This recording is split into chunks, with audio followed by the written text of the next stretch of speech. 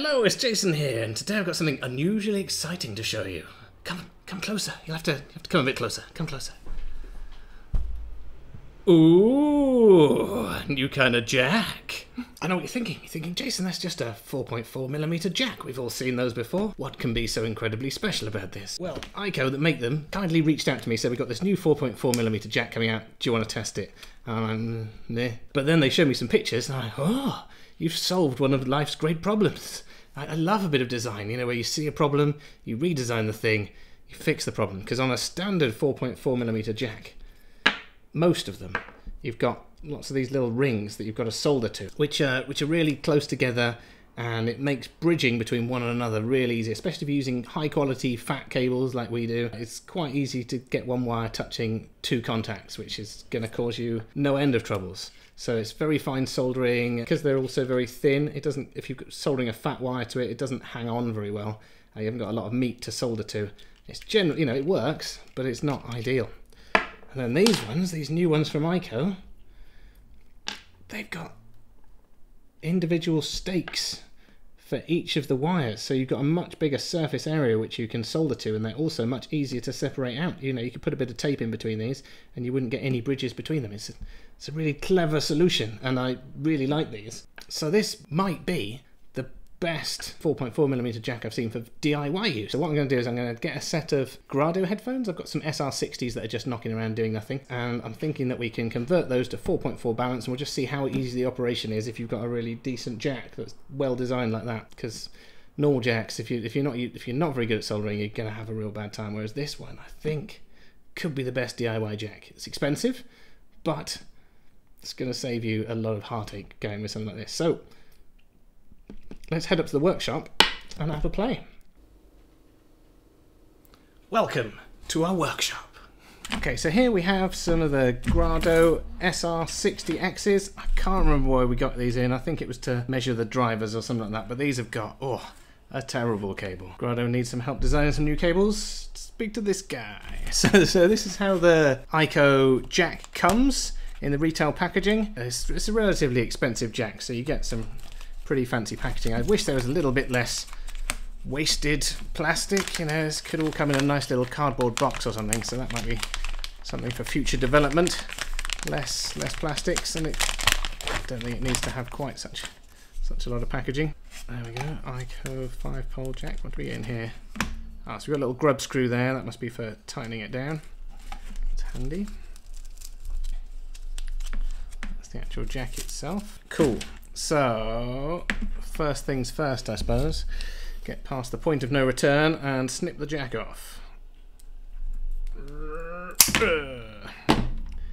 Cool. So on this, uh, on the basic Grados, you'll have like four wires in there, two for each side. On the more expensive ones, you might have eight or, or more wires in there with three or four going to each side, depending on what range you're in. So I'm just going to strip this back a bit, just so we've got something to work with.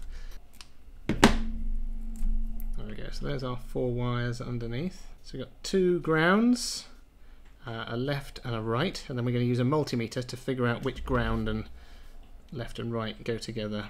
You'll have to excuse the sound of the rain. I'm up in the up in the roof in the workshop, uh, but as you can see, I've basically pre-tinned these wires, and I've made the right plus and right minus a bit shorter than the left plus and left minus, because on this connector these are longer pins, so we're going to solder the shorter ones there, and then the longer ones will reach back to these. So this one is going to be right minus, this one's going to be right plus.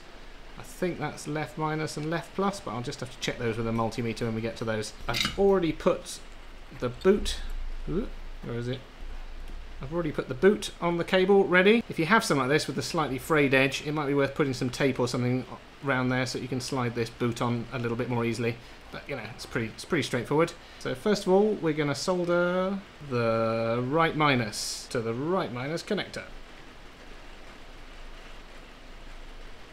There we go. And because we've got a nice long solder joint on there, it's got a large contact area, so hopefully it should be a nice strong joint. Now we're going to do the right plus just over the other side. And it's a little bit long, just going to trim that back just a touch. Don't like touching any other connections. Here we go. like a dream. Like a dream. Okay, so now we're gonna just use the multimeter to figure out which one's the positive and negative. So, okay, so this side is positive, the right hand side is negative. So I'll do the positive first.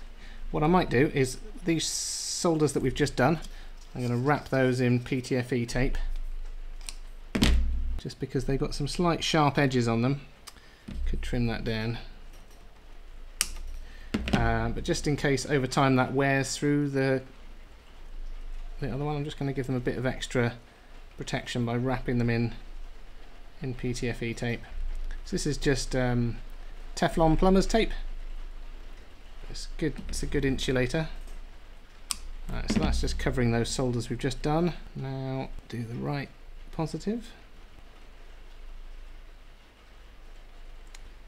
Alright, so that's that's done. And then the final one, the, the left minus. Uh, again, just trim it back slightly so it's the right length to fit on there.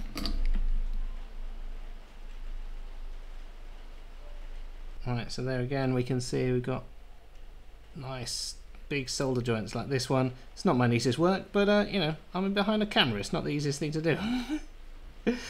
Maybe a little bit slightly bigger blob of solder than I wanted, but uh, there you go. So they're nicely securely on there. So this, these connectors, they're, oh yeah, you can get, it's basically one of the only 4.4s where you can get all four wires soldered on really securely uh, with a decent length of connection on there with a fat wire. So I'm just going to cover those up as well with a bit of PTFE.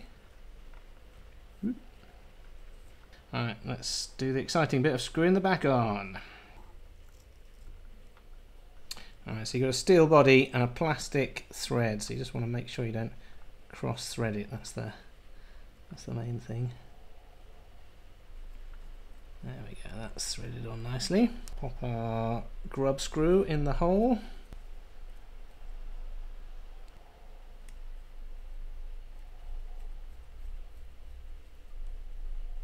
Bada bing, bada boom. Nice.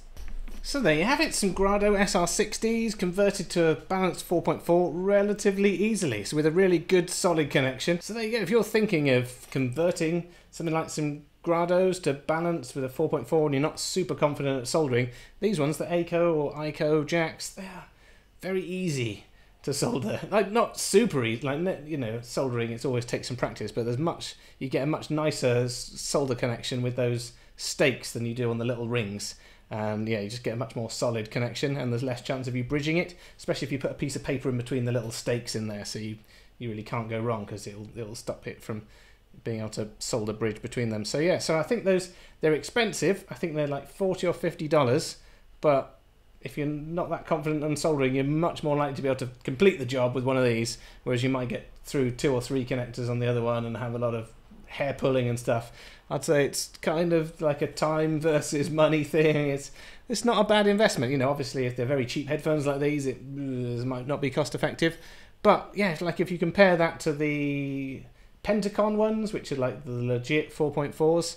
Uh, they're, they're similar price. I think they're like 50 or 60 for their basic ones. So so yeah, these are these are good. They're a nice jack and easy to solder. Um, I, am going to ask them if they could possibly do us a wide body one because then we can use it with some of our super fat cables, which would be nice. It's just a little bit slim for some of our wires. But yeah, for, for, for an original Grado cable or HD600 or something like that, it's a nice, it's a nice jack to work with. Uh, aeco were very kind and also sent me some samples of their other jacks. I'm thinking I might build some other cables. We'll do a 4 pin XLR to HiFiMAN. So hopefully I'll have that up next week. We'll do a full cable build. I'll, we'll build a custom super awesome cable and we'll use some of these some of these connectors. So if you're interested in seeing how to make yourself a high-end cable for some focals or something or some Denons or something, we'll be making one of those cables next week. So uh, yeah, I hope that you found that interesting and I know it's I don't know. I get excited by stuff like this, but uh, if you do, let me know in the comments. Or is this a little bit too niche? I, I don't know. But anyway, it's been uh, it's been awesome hanging out, and I will see you guys again.